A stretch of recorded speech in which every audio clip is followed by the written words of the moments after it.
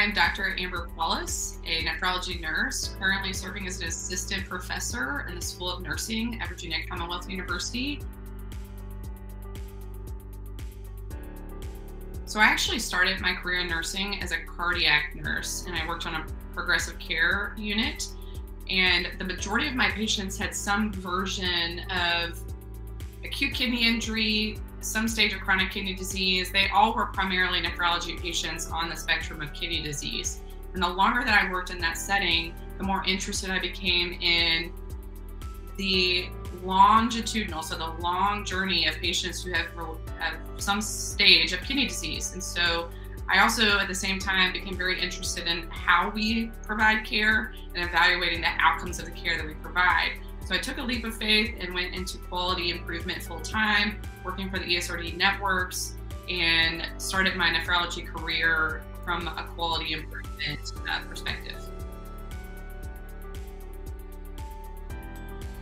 Most people think about nephrology nurses working in dialysis, but that is not the only setting in which nephrology nurses work. They can work in acute care settings, so in hospitals, they can be on CKD uh, specific units. They also can be kind of intermixed um, throughout like med surg. Um, they can be in outpatient settings, uh, working in CKD focused clinics, so chronic kidney disease focused clinics. They can work in transplant. They can work in home dialysis. They can teach, uh, like I do, in an academic setting. Um, so nephrology nurses are very diverse in practice. They also could work um, in evaluation, meaning like they are the ones going out and surveying dialysis facilities to ensure they are in compliance with the regulations uh, in which we should provide care. Uh, so I think nephrology nurses have a different perspective on what kidney patients could need that a lot of other interdisciplinary teammates may not have. Nurses spend a lot of time with patients. They also have a very holistic perspective on the patient experience of care. Uh, they have a little bit more time to be with the patients to be able to assess other factors that are not just focused on symptoms of kidney disease um, and really pulling out additional information from the patients around what might be impacting them today.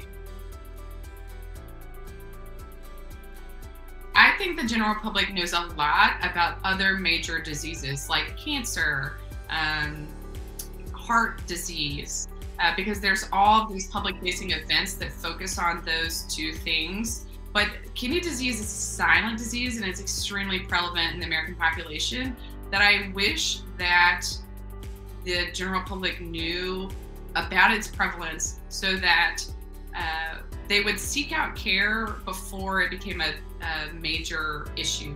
I think nephrology nurses actually stand in the gap of advocating for more transparency around the impact that kidney disease can have because it's not as accessible in the media.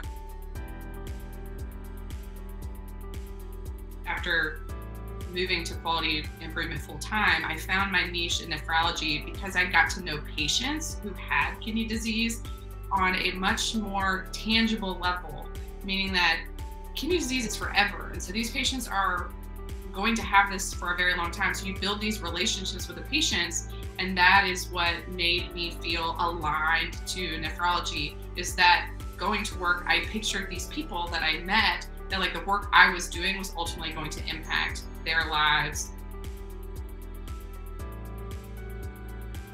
The most memorable thing for me was seeing a patient who had been going to dialysis and part of his story was talking about how he started going to dialysis and was a non-adherent patient but that he was radically transformed by a nurse meeting with him and having discussions saying, hey, you know, you really need to start going to your treatments and staying for the full time and uh, so on and so forth. So anyways, he ended up getting a transplant.